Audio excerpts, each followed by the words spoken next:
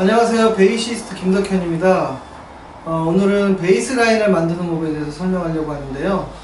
어, 여러 가지 방법이 있겠지만 제가 알고 있는 방법을 통해서 설명을 드리려고 합니다. 어, 일단 간단하게 그 교재에 있는 부분을 어, 따라해 보도록 하겠습니다. 기본적으로 코드가 있고요. 그 코드 안에서 베이스 라인을 어떻게 만드는지에 대해서 설명을 드리도록 하겠습니다.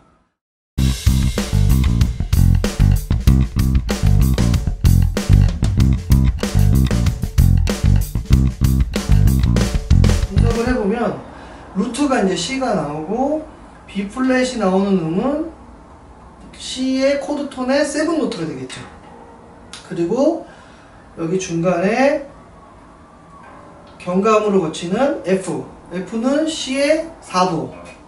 그 다음에 어, 여기 나오는 이 코드는 C의 5도.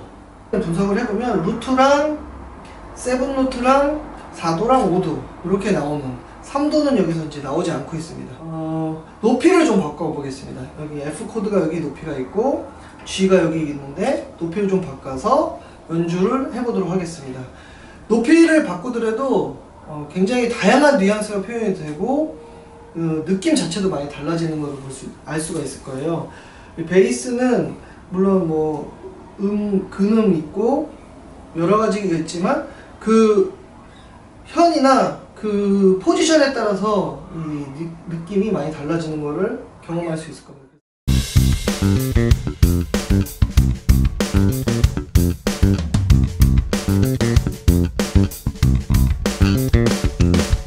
자, 지금 변형해서 연주를 했는데 이 기본 처음에 나왔던 데는 어, B 플랫을 여기를 잡았다면 3번 3번 줄 1번 플랫을 잡았다면 두 번째 제가 변형한 거는 여기 1번 줄 3번 플랫을 잡았어요. 옥타브 같은 거 잡았는데 어, 뉘앙스가 좀 많이 다르다는 거를 경험할 수 있을 겁니다. 그거를 어, 전에 거랑 또 합치면은 지금 네 마디를 기준으로 하고 있는데 처음에 했던 원래 교재에 나왔던 거랑 두 번째 거랑 합쳐서 반반씩 또 연주할 수 있습니다. 그러면 또 하나의 패턴이 나올 수 있습니다. 그렇게 해서 또 다시 연주를 해보도록 하겠습니다.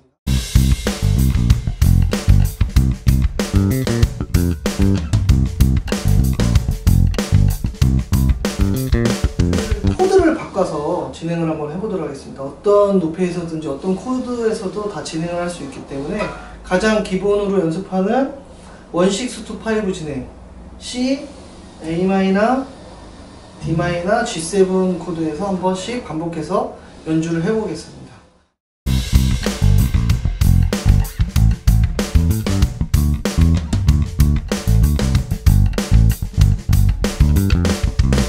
이런 식으로 다양하게 적용을 할 수가 있습니다. 어떤 포지션이든지 뭐 E 마이너를 친다, E 코드다. 그 다음에 뭐 F 샵이다, F다.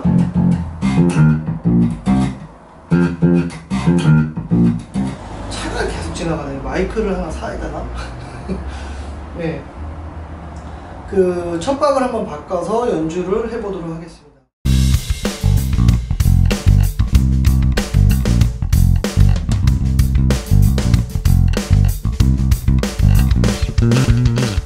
번째 리듬을 4분음표, 8분음표, 16분음표를 바꾸니까 조금 더 다양한 그런 느낌이 표현이 되는 것 같아요. 그리고 맨 마지막에는 어, 약간 비브라토를 쓰면서 그 마지막에 seven note를 그 shake하면서 느, 느낌을 줬습니다. 근데 이것도 똑같이 그 썼던 라인 중에 똑같이 있습니다. 여기가 C 코드면은 2번 줄 10번 fret이 C죠.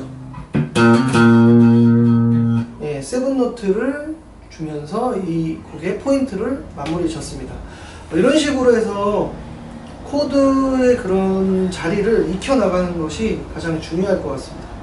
그렇게 뭔가 새로운 뭐 스케일을 쓰지 않더라도 기존에 알고 있던 이 베이스 라인의 그 코드 톤만 가지고도 되게 다양하게 표현이 될 수 있습니다. 뭐 hammering을 사용할 수도 있고요, shake를 쓸 수도 있고, mute를 쓸 수도 있고, 그걸 뭐 세 번째, 네 번째 박자를 어떻게 꾸미고 첫 번째 박자를 어떻게 꾸미냐에 따라서 라인이 굉장히 많이 변형이 될 수 있습니다.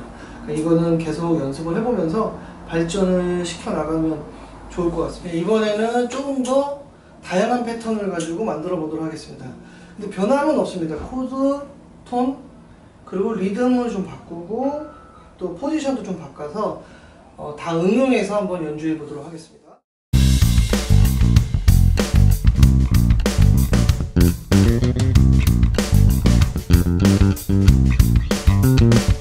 이번에는 옥타브, 그 다음에 hammering, 그 네 마디째 네 박을 전부 다 fill in을 넣어보도록 하겠습니다.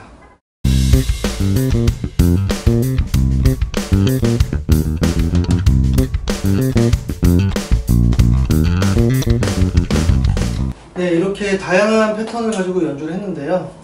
어, 코드 톤만 가지고도 굉장히 다양한 패턴을 사용할 수가 있고, 그 뉘앙스를 어떻게 넣고 박자를 어떻게 넣느냐 거기에 또 다른 라인들이 생길 수가 있습니다. 처음에는 기본적인 교재에 있는 것부터 시작해서 그거를 분석하고 코드 톤을 알아낸 다음에 위치에 따라서 또 음색을 만들어 보고 또 메트로놈에 맞춰서 연습을 하고 또 drum machine을 맞춰서 연습을 하면서 다양한 코드에서도 계속 적용을 해봐서 그 베이스 라인이 어, 연주자 그 몸에 익힐 수 있을 때까지 연습을 하는 것을 추천해 드리고요. 그리고 이런 패턴을 가지고 다음 시간에는 어떻게 곡에서 적용할 수 있는지를 한번 연주해 보도록 하겠습니다.